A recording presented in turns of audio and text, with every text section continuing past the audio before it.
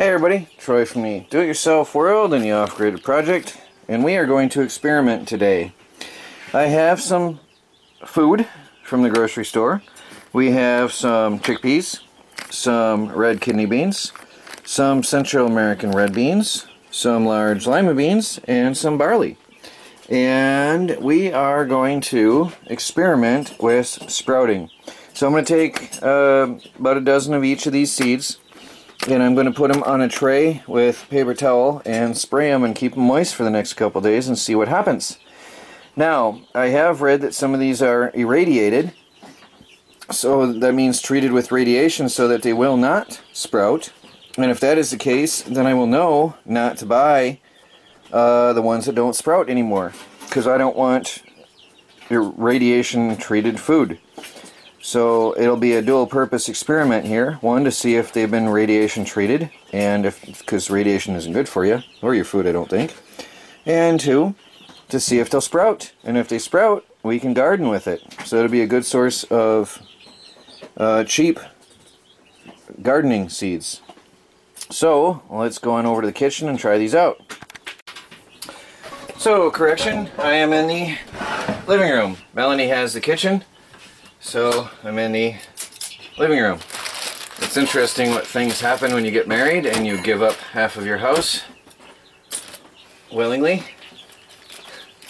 happily. Melanie's laughing in the kitchen. so I'm going to take about it. I want to take a good dozen of each. Uh, there's some chickpeas, I just want to see, actually I want to go and, act, and, and make it a good even number. I want to take 20 of each.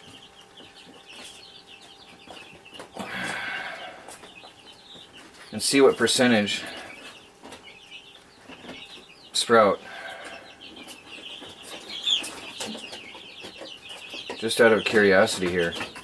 That way it'll give us a uh, an actual percentage of what sprouts and what doesn't on these um, different things because depending on how old they are that will also affect if they sprout or not. How they've been stored and treated uh, will also affect everything. So I want to take a sampling of each type of food here and see what goes on.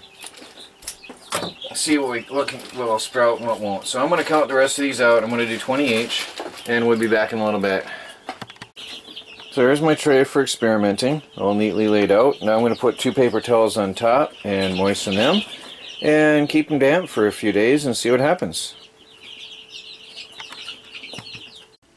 Day three with the seeds here and I keep adding moisture to the towel each day.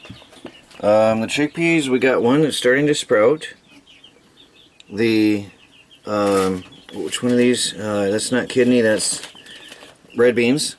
Have all sprouted except for one that I, oh yeah, that one's sprouting. All but one that was moldy and I threw away. So that's a uh, near 100% germination rate. The big lima beans are splitting in half and not doing much of anything else, so they might be irradiated. Actually, that one's got black, black mold on it. I'm going to have to actually take them out and rinse them that one's not good at all. So the lima beans are actually getting mold. I have to actually take these and rinse them all then off so they don't get all moldy. There is a moldy stench after just a few days, but it has been warm in the house, in the tiny house. The, um, what are these grains? Uh, barley didn't do anything, and they're molding profusely, so they're not good at all. And the kidney beans have all but one sprouted. So that's a near 100% germination rate. So that's very good. Um, oh, oh, what do we got here? Is that just a root from the other? Oh yeah. No, these are not doing anything, but I'll wash them and give them a second chance, see what happens. They might just need longer. And the barley, I think we'll have to do them in a, in a seed sprouter because they just mold too easy. So, that is a success so far. Looking good on the seeds. So we'll plant these tomorrow. Well, here we are the next and final day. Uh, we're going to plant today. They don't smell good because there was some black mold formed on a couple of the seeds. The chickpea one molded and some of the uh, barley got moldy. But the um, chickpeas are sprouting. Day four, or is this day five? I'm not sure. I'd have to check my, my video. Chickpeas are sprouting and that's good. So most of them have sprouted eh, or are sprouting. All of the red beans and kidney beans sprouted except for the two that I threw away, so that's a near 100% rate. So that's very good here. We'll be planting these today. And even the barley was, where was it? Some of the barley was starting to sprout. So I saw tiny little bits starting to sprout on some of these. But these would have to be done in a seed sprouting tray where you can rinse them regularly because they're getting moldy and that's not good. Now the beans did great. The chickpeas are not so good without having a clean uh, environment to rinse them. So I would change that for next time. It looks like, weirdest thing, is there an insect on that? Is that a form of mold? Or is that, can you focus on there? I can't focus. Yeah, look at that. That is a weird looking thing. Form of fungus? So anyway, some weird stuff happens. The uh, the lima beans weren't very happy, but um, a very few did sprout. So I think they also would need a cleaner environment. But the uh, the germination rate for the lima beans is very, very low, so that's not a good success. They'd be better off being eaten as food. Here's another, that weird yellow fungus. But, yeah, the red beans, we're going to sprout some more and we'll plant them. These are going out in the garden today. So, good success. And even the chickpeas will sprout. And uh, actually, even the barley is going to sprout. So, I might just sow some of the seeds right in the dirt. But there we have it.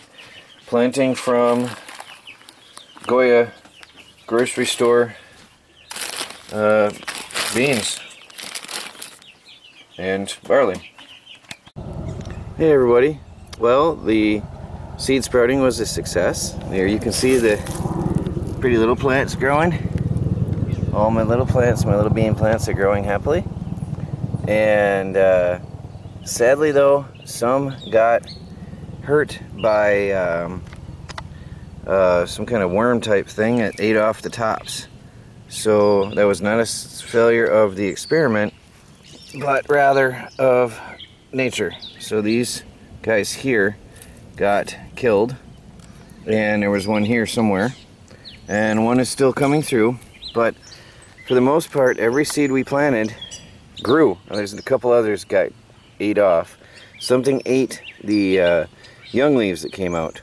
So when I do this again, I will do it in starter trays and transplant them when they're strong enough to handle nature on their own. So there's the um, red beans. And, and something I've never seen in my life. The chickpeas are growing. I've never seen a chickpea before, but there's a chickpea. And there's a chickpea. Now the germination rate for the chickpeas was a lot different and a lot less. But, well then again, they're still coming up.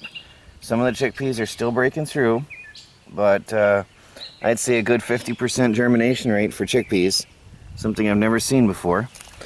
And the kidney beans had a near 100% germination rate, but a good 70-80% um, uh, what do you, predator rate. So only a few made it to uh, to life. These are a couple weeks old now.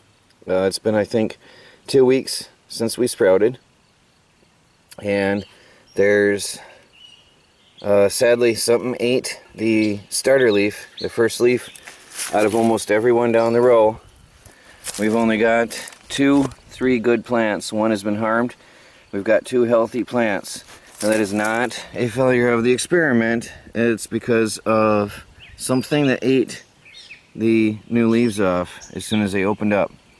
So um, I will be starting them in a container, but I will be starting some more. So we have success.